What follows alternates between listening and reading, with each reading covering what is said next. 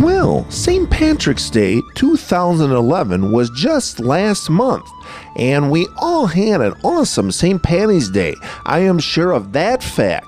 You know, there's so many fun and exciting events for St. Patrick's Day in the Chicagoland area. I want to take a look at some cool ones I was able to visit around and on St. Patrick's Day. In this segment, we want to feature and showcase two awesome St. Patrick's Day parades. First, on Saturday, March 12, 2011, in downtown Naperville, Illinois, the city of Naperville was putting on their special St. Patrick's Parade.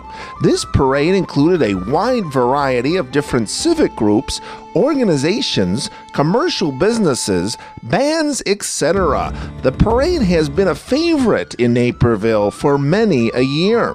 And on the same day, the village of Lemont, Illinois, in historic downtown Lemont, was having their special St. Patty's Day parade as well.